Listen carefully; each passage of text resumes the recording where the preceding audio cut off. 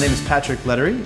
I'm here with Theater Fanatic. So I saw this play at the, the, the Duke called Cock, written by Mike Bartlett and directed by James Macdonald.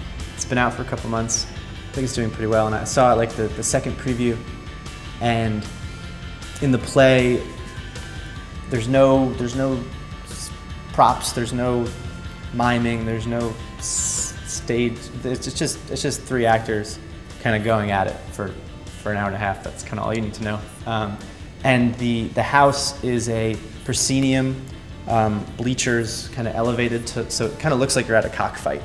Um, and the house lights are on the whole time.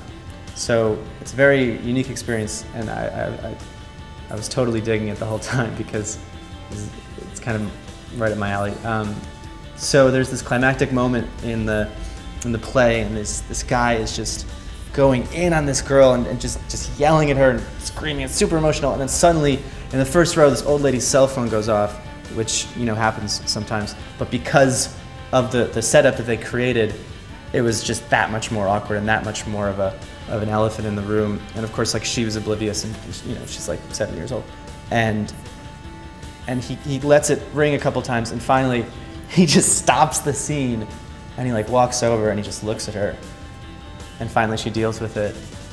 And then he uh, he goes back into the scene. And he kind of he kind of does like this. He's like, okay, you know, and he kind of jumps back into it, sort of like a boxer.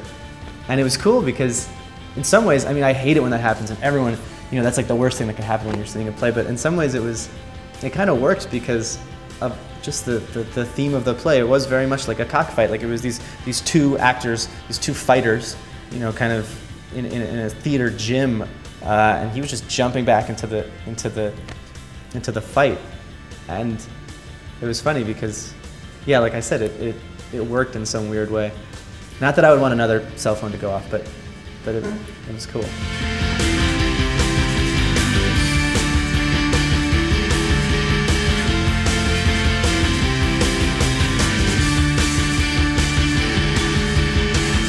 This has been Patrick Lettery from Theater Fanatic, signing off.